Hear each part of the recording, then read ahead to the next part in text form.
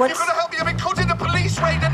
Marcus, calm down. This could end my career. My wife's going to find out. You have to listen to me. Shut your mouth, put on some pants, and get your fat ass out of there. My name's Robyn. I work for MPPR. Caroline. Coffee!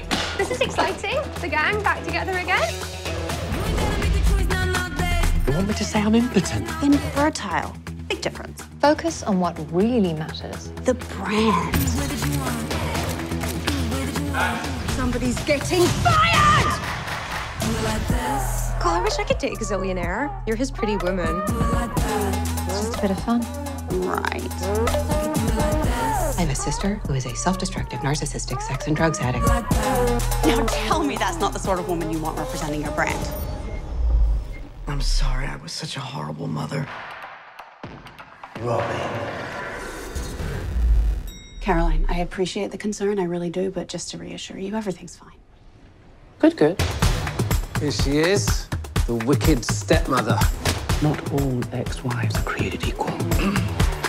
you get to be a wife or a mistress, Eve, not both. Get out! I will not feel responsible for you. We're both just imposters, squabbling over someone else's legacy. Remember that video of you in Vegas?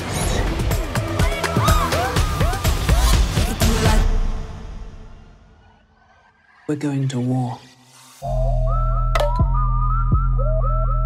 Uh. Dad, why'd you name yourself Richard? He was like, because I want to be rich. Did you wash your hands? Of course not. Oh my god! You ever use schmaltz? Same heart attack, different afterlife. Whoa, whoa, we were high five. Even if I did know where the Antichrist was, I wouldn't tell you. We're on opposite sides. I rather enjoy being on fleek. I ate a bug.